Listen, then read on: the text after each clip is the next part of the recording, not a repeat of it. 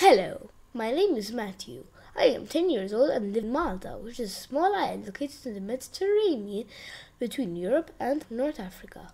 Malta has one primary airport. The Malta International Airport terminal is over 72,000 square meters and in 2019 alone it welcomed over 7 million passengers where 33 airlines connected the Maltese islands to more than 125 destinations in 43 countries. Malta International Airport has two runways linking nine different aprons. Malta's aerodrome was accurately built into Minecraft. Please join me for the tour. Ladies and gentlemen, this is Captain Matthew speaking. We will be soon landing at the Malta International Airport. 20. 10. Retard. Retard.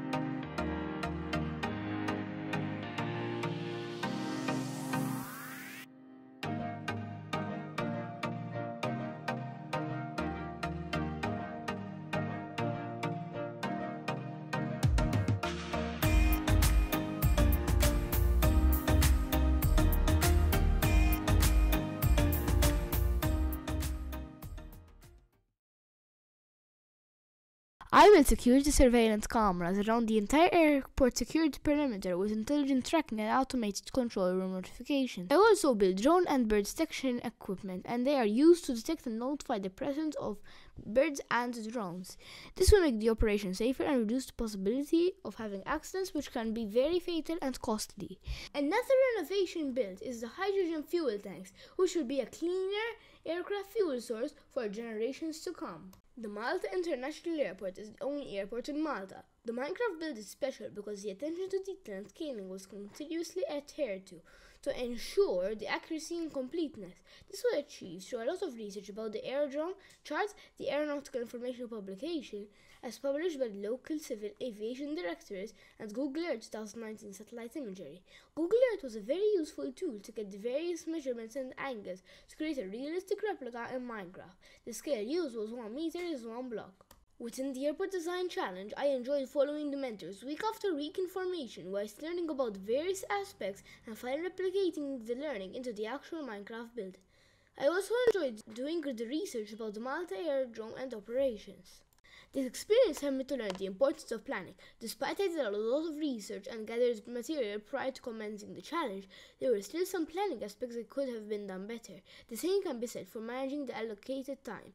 Finally, I have increased my knowledge about the various aspects of forming an aerodrome.